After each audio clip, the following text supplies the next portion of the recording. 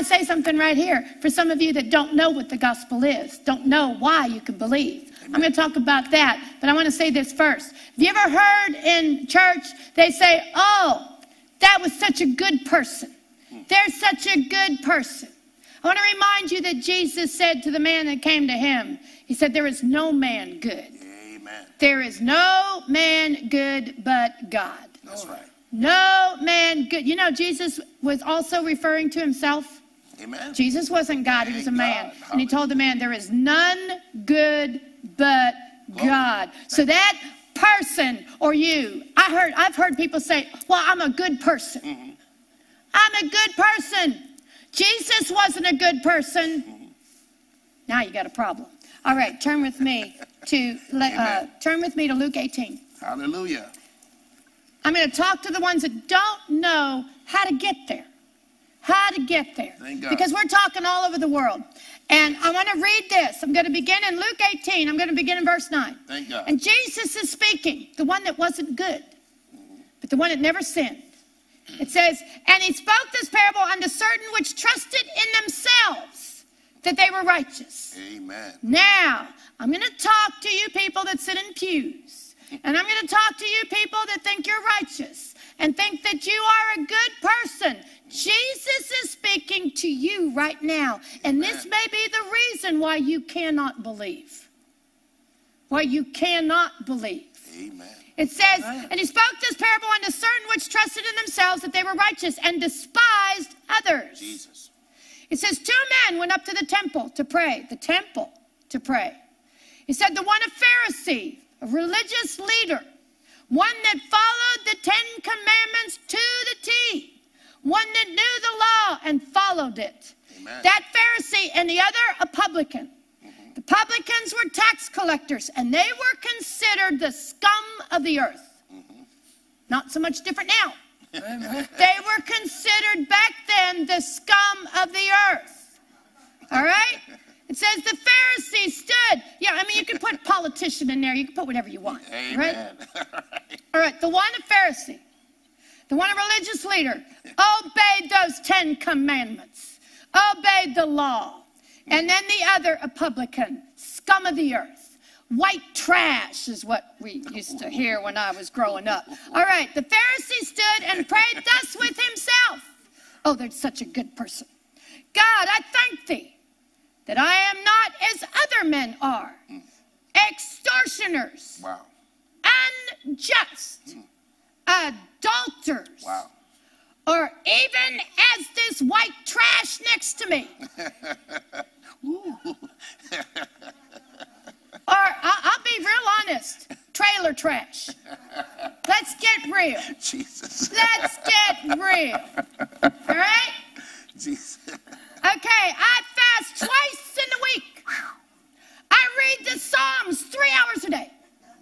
I give tithes of all that I possess. Mm. I listen to every tape. I got religious TV on 24 7. Amen. All right? And it says, and the publican, the white trash, mm. trailer trash, other sides of the track, the publican, standing afar off, mm. afar off, would not lift so much as his eyes into heaven, wouldn't even look up. Glory. He smote upon his breast, Yeah. saying, God, be merciful Amen. to me, a sinner. Amen. Did you hear what white trash said? Mm-hmm. God be merciful to me, a sinner. Hallelujah. A sinner. Hallelujah. I'm a sinner. Right. Look what happens. It says, I tell you that the man went down to his house justified. Hallelujah. Do you see that? Justified. Mm. That man went back home without any sin. Yeah. Justified. Not forgiven, not only forgiven, we're talking justified. Yes. Everything he had done Yes. was wiped out. Yeah. Wiped out. Amen. That's mercy. That's right. Amen. God, be merciful Hallelujah. to me, a sinner. Amen. Merciful. Amen. Merciful. Hallelujah. Be merciful to me, a sinner. That's right. You know what? Doyle has a, a an interesting testimony that I remember. Yeah, I remember them all. He told someone when he first started walking with God, and this is interesting. He told someone that already was walking in God, was born again, baptized in the Holy Ghost. And Doyle said, You know, God's having me ask for mercy. And the other person said, Well, I guess you could do that.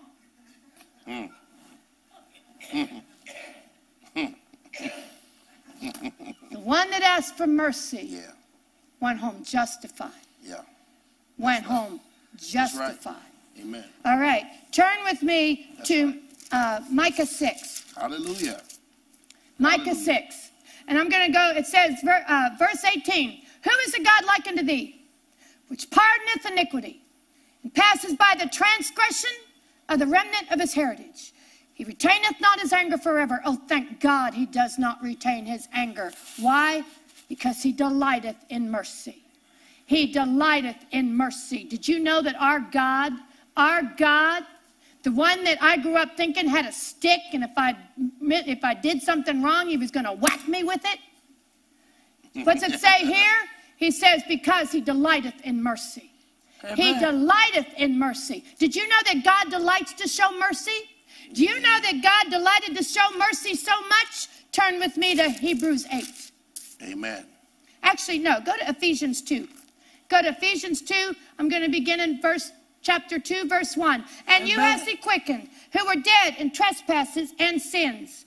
It says, where in times past you walked according to the course of this world, according to the prince of the power of the air, the spirit that now worketh in the children of disobedience, among whom we all had our conversation, our behavior in times past, in the lust of our flesh, fulfilling the desires of the flesh and of the mind, and were by nature the children of wrath even as others. But look at this. Look at this next verse. But God, who is rich in mercy, but God, who is rich in mercy, our God is rich in mercy. And what did he do with that mercy? What did God do with that mercy? It says, even when we were dead in sins, has quickened us together with Jesus. You know what God, how God showed mercy? Exactly what Brian was talking about. God showed mercy by sending Jesus. Hallelujah. God, who is rich in mercy, sent Jesus. Hallelujah. And he sent Jesus to carry your sin.